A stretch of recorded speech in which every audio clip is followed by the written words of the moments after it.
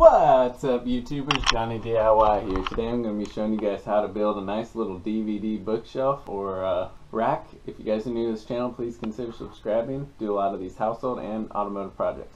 Alright, let's Alright, so I got all these scrap pieces of plywood, that's why I'm making this. I'd recommend using at least half inch or 5 eighths or bigger.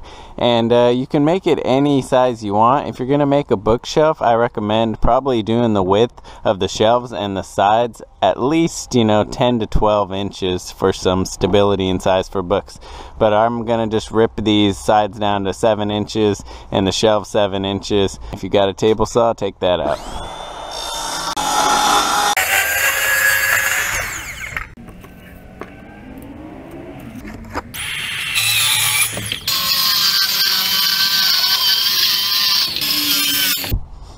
Alright, so I got all the shelves cut up, and I was to say, go ahead and cut the depth a quarter inch less on the shelves if you're to put a back panel. I'm to go ahead and mark off where the shelves are to go every 8 inches. That'll be plenty of room for our DVDs. Alright, I laid out all the lines for the shelves, and I messed up. I forgot the width of the wood, so don't forget that. And I got a little space at the bottom. I'll put a toe plate on after I'm done putting it together.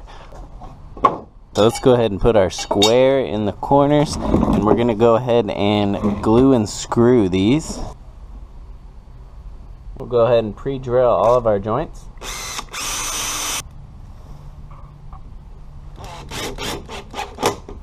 Here we go.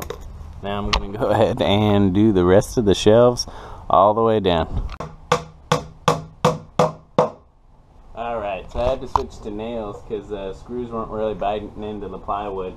Uh, it'd probably be best if you had three quarter inch plywood to use the screws, but these nails will do just fine. Alright, I got it all put together, and this is by no means even close to fine carpentry. This is as rough as you can get it. I'll go ahead and sand up all the rough edges. Now to fill in all these checks and holes in this crappy plywood so with some, uh, I'm going to use some spackling paste, but you could use wood putty or drywall compound.